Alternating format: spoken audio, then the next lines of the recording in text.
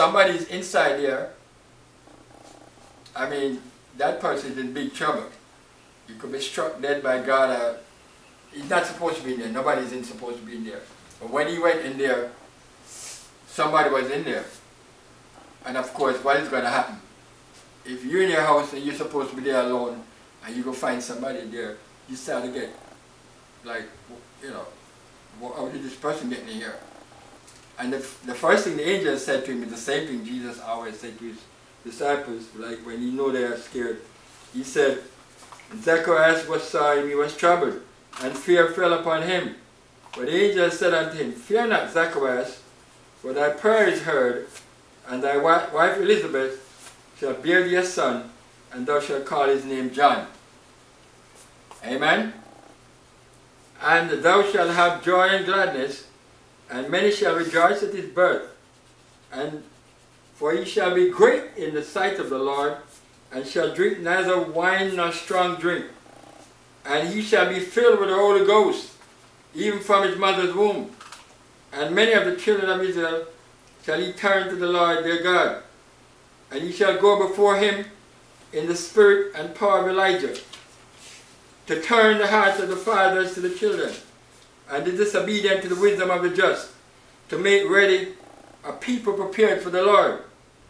And Zechariah said unto the angel, Whereby shall I know this? For I am an old man, and my wife well stricken in years. And the angel answering said unto him, I am Gabriel. Amen?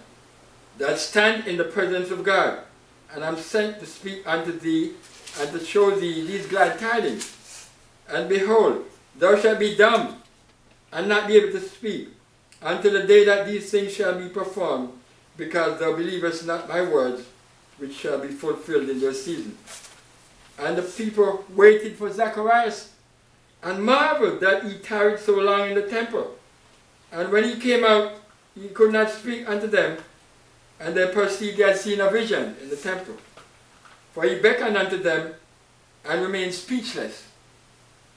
And it came to pass that as soon as the days of his ministration were accomplished, he departed to his own house, and in his own house, and after those days his wife Elizabeth conceived, and hid herself three months, saying, Thus hath the Lord dealt with me in the days wherein he looked on me to take away my reproach from among men. Amen. Hallelujah. And the scripture said, um, um, um, it's the scripture said, speaking of, um, mm, the, the scripture said here that that that Elizabeth, go to verse um, verse 40.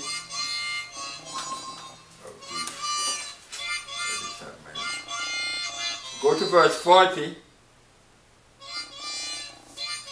If we go to verse 40. Alright, sorry about that. Go to verse 40. The scripture said, And when Mary went to see Elizabeth, she entered into the house of Zacharias and saluted Elizabeth. And it came to pass that when Elizabeth heard the salutation of Mary, the babe leaped in her womb, and Elizabeth was filled with the Holy Ghost. I just read that because the Bible said that this baby was going to be filled with the Holy Ghost from his mother's womb. Right? And so the scripture tells you here, the scripture tells you here about Mary, I mean Elizabeth and Zacharias. They were old and they were out of the, the time of still having children, especially the wife. And um, but they were faithful to God. They didn't understand why they never had a child, but God didn't forget them. Their time had not come as yet. And when their time came, it was going to come big time, very special.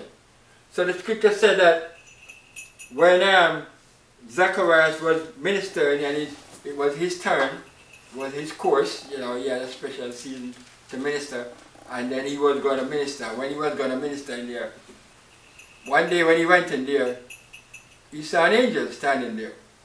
And the angel said he got scared, scared, he was afraid. he said, well, what happened? I mean, you know, and the angel said, fear not. Notice what the angel said to him. He said, he said, um, thy prayer is heard. He said, I know you've been praying to have a child, and I'm telling you right now that God heard your prayer. All this time you've been praying, God heard your prayer. And he said, your wife is going to have a son. And he told him, now listen to me. There are certain things that are meaningful here. Because the, the angel was standing there, knew his name, right? And if, if somebody, like the other day when we were doing the study, when um when the Lord was met, when Mary did not know it was Jesus was in the garden, she thought it was the garden um, at time of resurrection. But when he called her by name, she knew that, well, if somebody's calling me by my name, then it should be somebody who knows me, right? And she recognized the voice, and she knew his name. But if somebody's calling by my name, it must be somebody who knows me. And the angel could call him by name, knew his name, and knew his wife's name also. And knew exactly what was going on in their home and what was going on in their marriage, life. And how they had been barren, I mean they had no child. The angel knew all of that. So eventually, the angel is supposed to realize that somebody was familiar with me. This person knows something about me. And he's coming to tell me a message from God to say that I'm going to have a son. And he told me the name of the son too. He told me what is going to be the name of the son. He's going to call him John. And then he said to him that, that notice he said, um, um, and thou shalt have joy and gladness, and many shall rejoice at his birth. So he's telling him that it, it's going to change altogether for you right now. And God, God is going to change things all around for you right now. And you're going to be happy. You're going to have gladness in your home. And then after he told him that, he told him the prophecy that was in Malachi, have you read before? And he told him that he shall go in the spirit and power of Elijah, or Elias, to turn the hearts of the fathers to the children, and the disobedient to the wisdom of the just, to make ready a people prepared for the Lord. And that's exactly what we read in Malachi. He said here, you shall go before him um, you shall turn the heart of the fathers to the children, and the heart of the children to the fathers. And he said he will come before the Lord come. Now, what is happening here? After the angel laid out the whole thing and told him what God had said, he, he, he, he reconciled it with a prophecy, and he reconciled it with his life and his state, the, um, the, the state of his marital life and and all of that. And he knew his name and all of this. But when he finished talking to him about all of this, right? Zacharias at him and asked him, so how am I going to know that this is going to happen? And, and it, I, I know it's like, you know, the angel is saying like, I mean, what, what is the meaning of this? Right?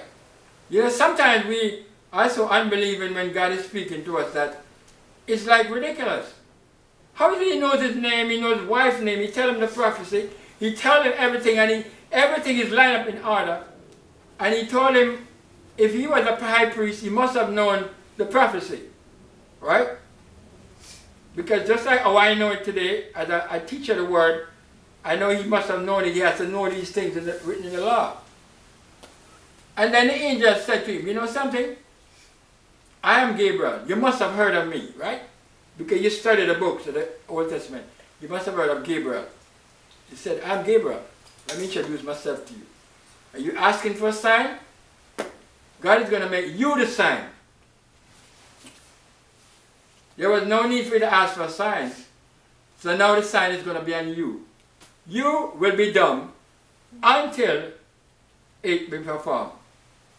So now every day you're going to have a prayer that it be performed because if not, you can't speak again. Right? I am not, I'm not even gonna, but I'm just showing you that the, um, there was no need, there was no need for him to ask Whereby shall I know? Because God had said it, and if God had said it, that's all he needed to know, that God had said it. Come on, Lord. All right, so the scripture said that many of the children of Israel shall he turn to the Lord God. And that's exactly what John the Baptist was doing. When he came, when he came, the Bible said that that the people went out to him in droves who were baptized. Alright? From the publicans, the sinners, the, um, the even Pharisees, many of them, and he drove them back, right? He did a great work preparing the people for the coming of the Lord. And so it was. John the Baptist was prophesied of as Elijah. Now, was John the Baptist born? Yes, he was born. And the scripture tells you, um, if you just go to a little further, it said, um, it said that in verse 58, um, the neighbors and the cousins heard how the Lord had showed great mercy upon her, and they rejoiced with her, right, when she had a baby. And when it came to the eighth day, they came to circumcise the child, and they called him Zacharias, after the name of his father. And his mother answered and said, Not so. His name shall be called John. And the people were saying like, But John, he said unto him, There is nobody in that kindred with that name. He said, Well, his mother believed what the angel said because he had told her what, what happened with the vision and and, he, and they made signs to the father said, what do you have to say, Daddy? I mean, and thing, well, I mean, how, why is mommy saying must call him John? And he wrote on a tablet, his name is John, verse 63. And his mouth was open immediately. immediately. So, as I said to you, immediately, as soon as he wrote it, he started to talk again. And then he just he just went off and praised God and all of these things that you, you can read it right down to the end of the chapter. Right?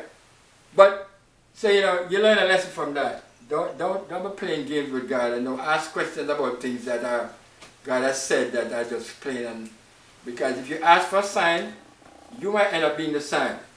Right? And God gave him the sign on himself. He never expected that. This was a, a big problem in Israel. Right? And even until today.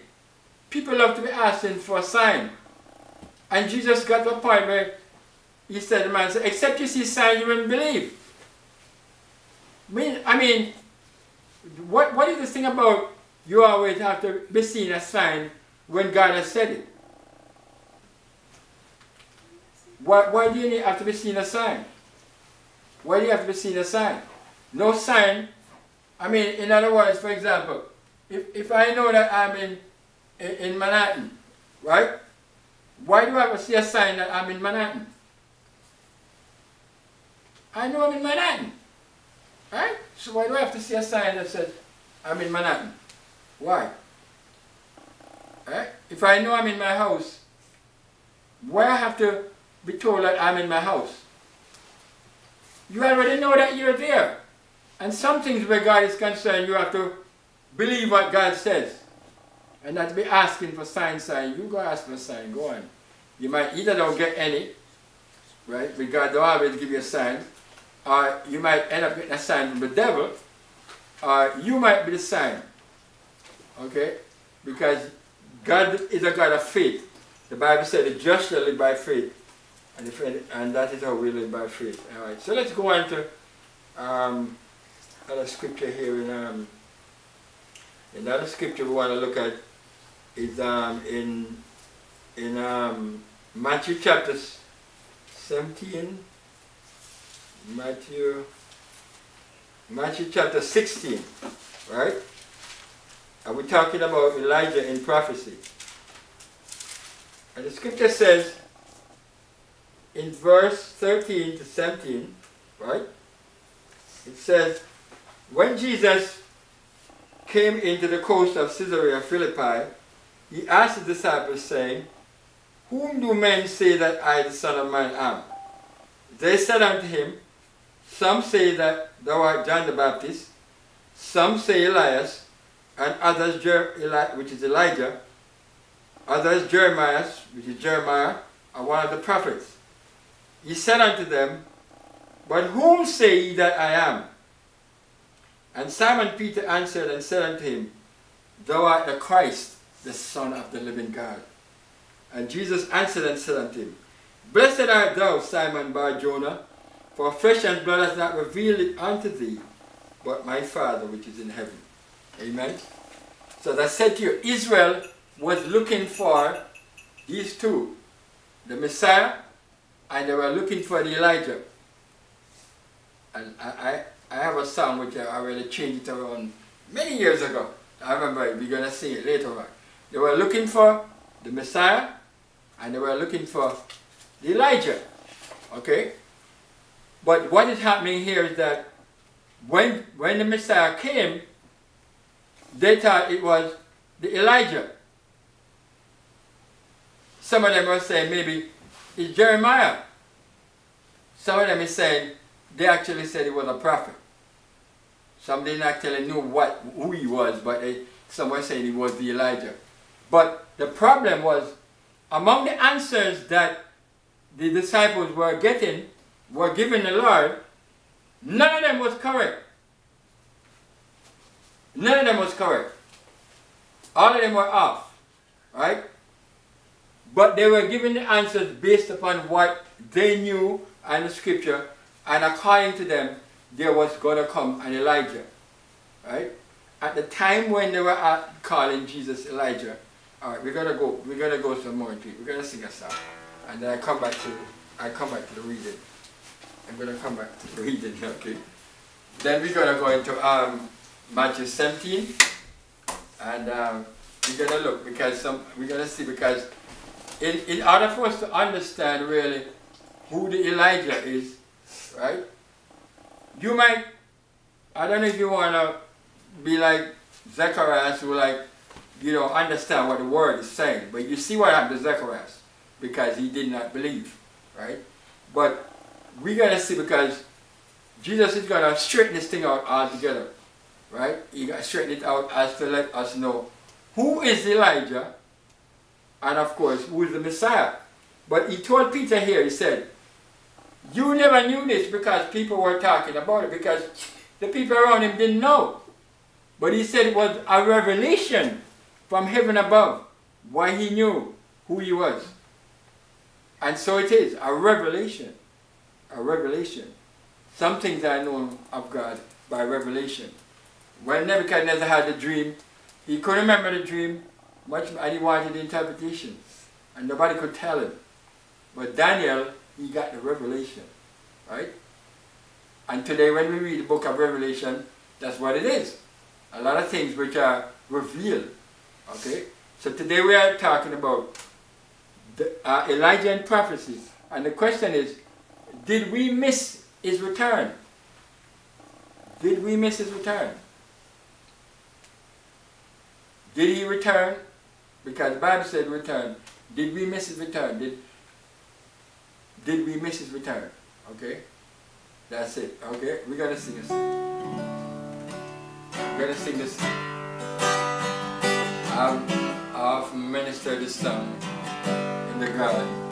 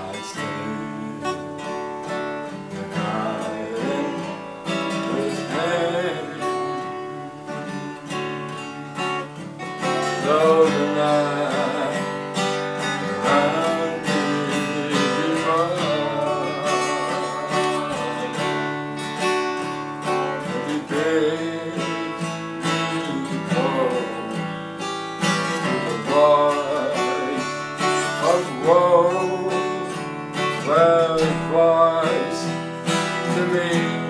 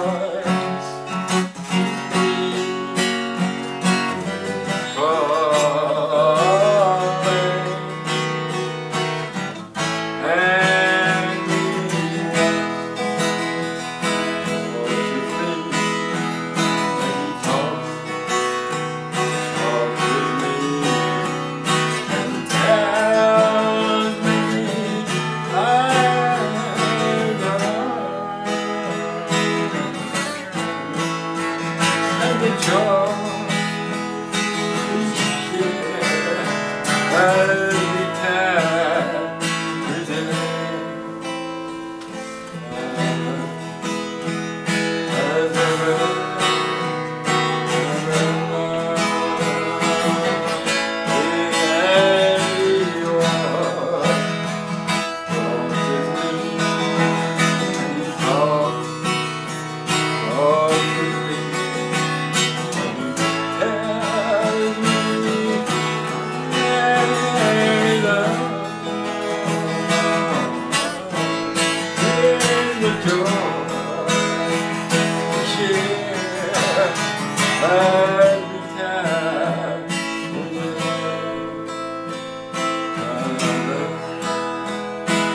summer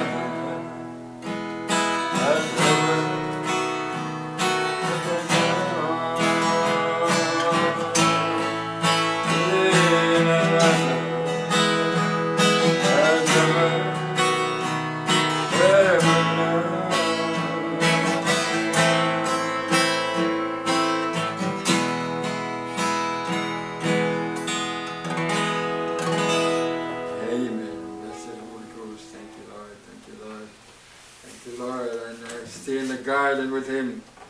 All the night around me be falling, but he bids me go with a voice of woe. And so it was. Yeah, we want to stay in the garden with him, and sometimes we just want to stay there, but there are other things to do because time is going on. Amen? Time is rolling. Amen. So let's go to Matthew chapter 17.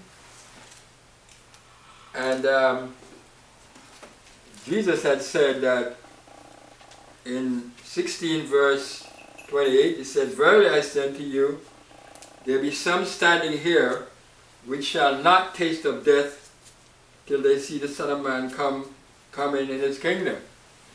And so Matthew 17, it says, And after six days Jesus taketh Peter, James, and John his brother, and bringeth them up into an high mountain apart, and was transfigured before them.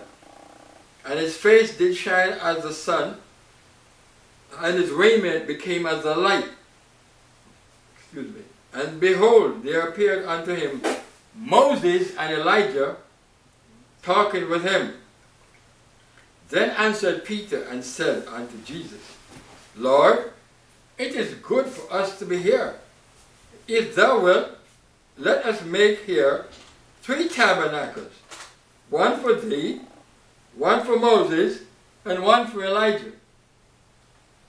While he yet spake, behold, a bright cloud overshadowed them, and behold, a voice out of the cloud, which said, This is my beloved Son, in whom I am well pleased. Hear ye him.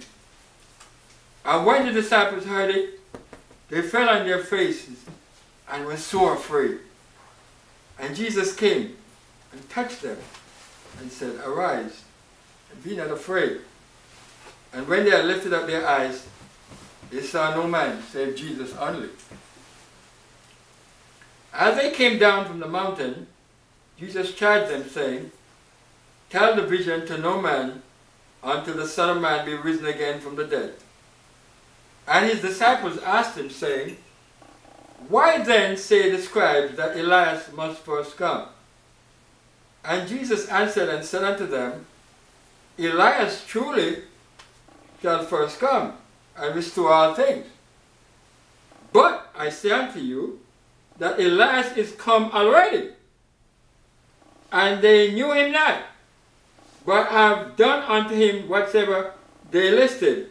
Likewise also shall the Son of Man suffer of them. Then the disciples understood that he spake to them of John the Baptist. It was a rude awakening. It was like, they said, like coming out of midnight into midday. And if we go over to Luke chapter 8, let's take a reference from there before we start to talk about this. It says that um, Luke chapter 8, Bro, foi 29